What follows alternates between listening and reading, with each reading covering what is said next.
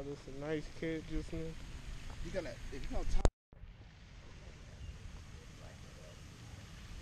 Sure.